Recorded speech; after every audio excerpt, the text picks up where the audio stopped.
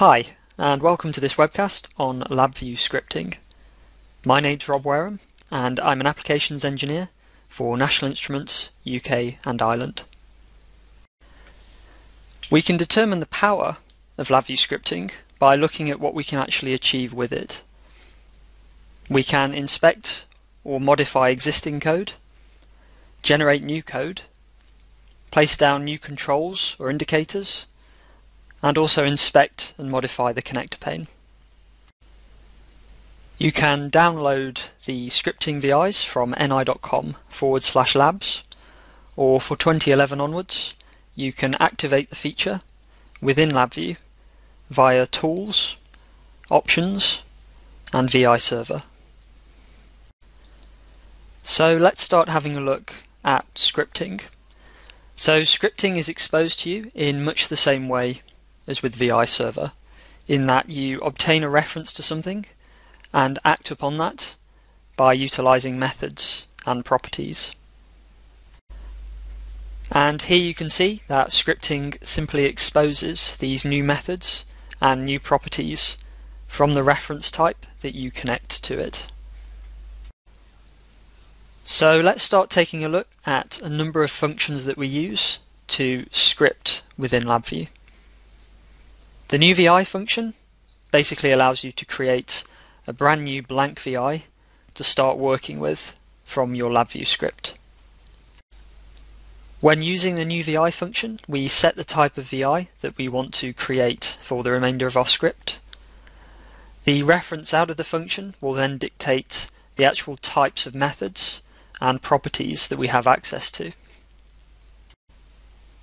Another fundamental function is to create a new object on your VI, allowing you to choose the type of object either from built-in controls or functions within LabVIEW, or to provide a path to the function to sub-VIs or user controls that you've already created. When creating a new object, just like when you created a new VI, the object class sets the object reference type. The owner refnum sets where the object is going to be created, be it to a destination VI, a front panel, or a block diagram. Another useful feature within LabVIEW scripting is the ability to communicate directly with the connector pane. So here you can see we are obtaining a reference to our connector pane of our LabVIEW VI. This then allows us to use an invoke node to communicate with our connector pane and to assign a controls reference to a particular terminal index. This terminal index is then used to assign the control to a particular location on the connector pane. When you install or activate LabVIEW scripting on your PC, the connector pane pattern reference VI is automatically installed into your example finder for reference. Now, before we go into more detail on the additional functions that are available within LabVIEW scripting, it's important that we first look at how scripting views a pre-existing VI and its functionality. So first let's consider a fairly standard VI.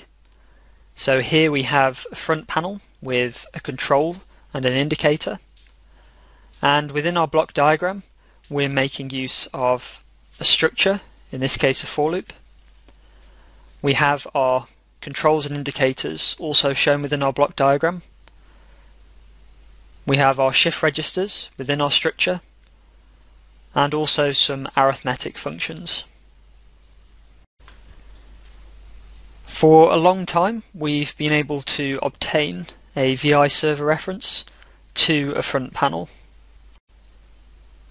But now that you have LabVIEW scripting installed or enabled, you can now obtain a reference to your VI's block diagram as well.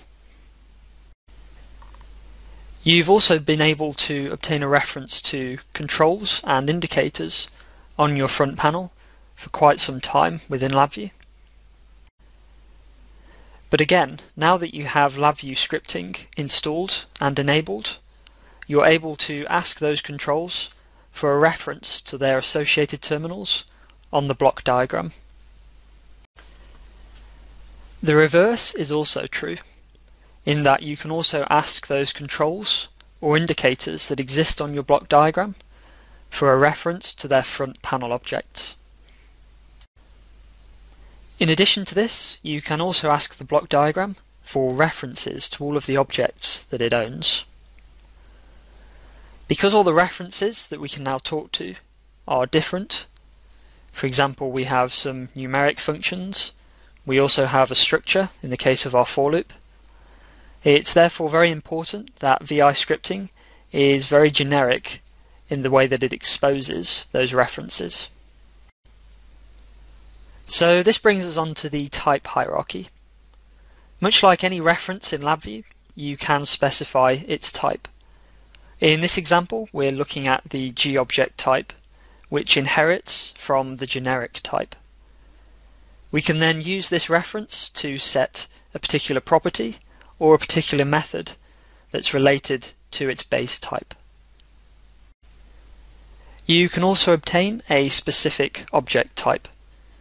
So in this example, we're merely obtaining references to nodes within our block diagram, rather than every object that exists within it, as we did in the previous example. However, notice that we don't have a reference to the arithmetic node within the for loop in this instance. The reason for this is because the arithmetic node is actually owned by the for loop rather than the block diagram as a whole. So it's important to note that structures such as while loops or for loops are classed as individual nodes that contain other pieces of code separate to the block diagram. Therefore, we consider this node to be nested. It's still accessible, but only via another node on the block diagram. Nodes themselves connect to each other through wires, and these in turn are connected via terminals.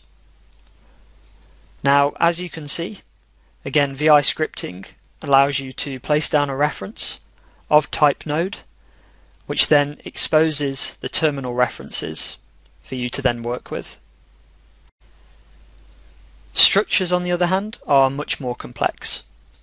They contain tunnels which act as a bridge between the outer block diagram and the inner diagram of your actual loop structure. But again, as you can see, VI scripting gives you the option of placing down a reference of type for loop and exposing the references of these tunnels. Each tunnel, in this case, contains an outer terminal that's visible to the block diagram as a whole, and an inner terminal that's visible to each block diagram within the node, in this case our for loop. So again, we can take a reference of type tunnel and we can expose the references of the outside terminals and the inside terminals. So now that we better understand how LabVIEW scripting interacts with a pre-existing VI, let's take a look at some more functions. The OpenVI object reference basically allows you to simplify the way you reference your nodes on your block diagram. Instead of needing to work your way through all of the reference levels, you can simply communicate to the node via its label. So let's take a look at an example of this. Here you can see that we're moving through each layer to obtain a reference to a node. So we're starting off at the diagram reference layer. We're getting a reference to all objects within that diagram. We're then looking inside to find a for loop.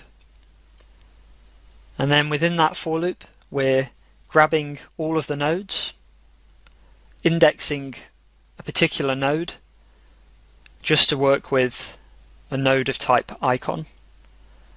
Now this is a fairly simple requirement, but as you can see, it can lead to quite a complex script. However, if we utilize the OpenVI object reference, you can see that we can drastically reduce the complexity of the script and also improve its readability. So again, we can see we're taking a reference to our diagram. We're then looking for our for loop. Then within that for loop diagram, we're looking for a particular node called compound arithmetic, which we can then work with. You can also automate the wiring by utilizing LabVIEW scripting. By obtaining the references of two terminals, you can automatically connect these together by using the invoke node connect wire. If you wish to connect a terminal to multiple terminals on a node, you can simply connect a node reference to the wire source of the connect wire invoke node. The opposite is also true in that a node also has a method that allows you to wire a terminal source to it. You can then supply this invoke node with a 2D array of type string. This contains the labels of the terminal from your wire source and the terminal from the node that you're currently working with to wire the two together automatically. Another notable function is the auto route setting. If you select auto route to be true, then it will automatically wire around structures. Whereas if you leave this as false, it will wire behind structures, which could decrease readability of your VI. And finally, we'll take a look at the new VI from template. This allows you to copy a template to then work from for the remainder of your LabVIEW code. Now this is particularly powerful if you have a set of coding standards that you know that you wish to enforce regardless of what the sub-VI will perform. So commonly this is making use of error terminals and case structures throughout all of your sub-VIs to enforce data flow and show good coding standards.